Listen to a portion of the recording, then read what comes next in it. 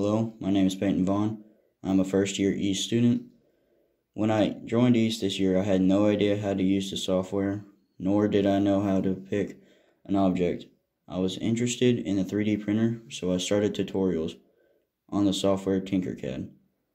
Previously, previously in the year, I built the Leaning Tower of Pisa and the Big Ben. Now I feel confident that I can build prints that could fix broken parts that might otherwise cost a lot of money. At the start of this project, I needed something to work on that would help the school or community. I got suggested to fix the broken hinge on an iMac monitor.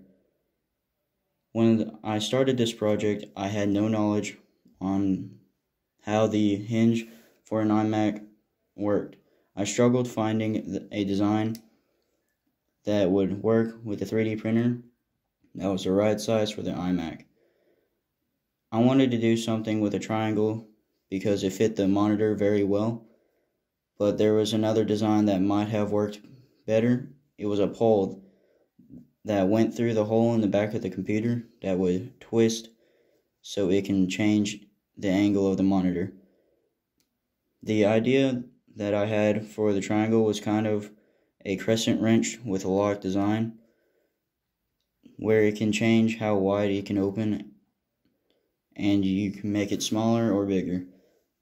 To make the shape I needed to look like a crescent wrench, I took an idea of the locking mechanism and used it for my own design.